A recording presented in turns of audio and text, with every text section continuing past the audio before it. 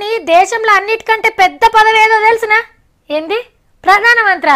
కాదు కాదు. ప్రధానమంత్రి కంటే పెద్ద పదవి రాష్ట్రపతి.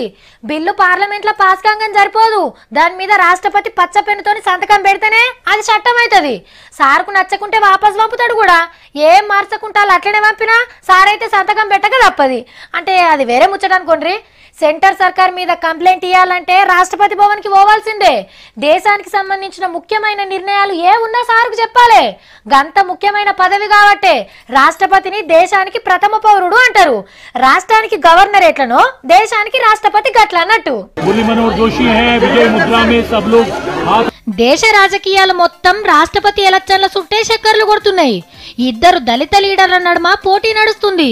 పువ్వు కుర్తోలు నడిపిస్తున్న ఎన్డీఏ తరపున రామ్నాథ్ కోవింద్ సార్ ఇవాళ నామినేషన్ వేసిండు.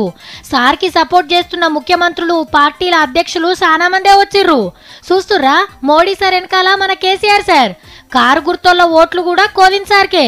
గమ్మత్ ముచ్చట ఏంటంటే ఆంధ్రాకెళ్ళి చంద్రన్న జగనన్న ఇద్దరు కూడా బీజేపీలు నిలబెట్టిన లీడర్కే జయగొడుతుర్రు కోవింద్ సారు మొన్నటిదాకా బీహార్ గవర్నర్. మరి కొలువుకు రాజీనామా చేయాలి కదా? రాష్ట్రపతి సారికి ఉత్తరం రాసిండు. నా రాజీనామా ఆమోదిస్తే ఎలక్షన్లలో గెలిచి మీ సీట్లో కూసుంటా అని. దానికి పెద్ద సార్ ఓకే చెప్పిండు. ఇక ప్రతిపక్షం పార్టీలు పాత స్పీకర్ మీరా కుమార్ మేడాన్ని నిలబెట్టినాయి. పార్లమెంట్లా తెలంగాణ బిల్లు పాస్ అయినప్పుడు ఈ మేడమే స్పీకర్.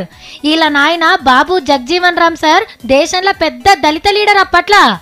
రాష్ట్రపతి ఎలక్షన్లకు ఎమ్మెల్యేలకు ఎంపీలకు మాత్రమే ఓటు హక్కుంటుంది ఏ పార్టీ ఎవరికి సపోర్ట్ ఇస్తున్నదాన్ని బట్టి చూస్తే మోడీ సార్ నిలబెట్టిన కోవింద్ సారే గెలిచే కోపు కొడుతున్నదట.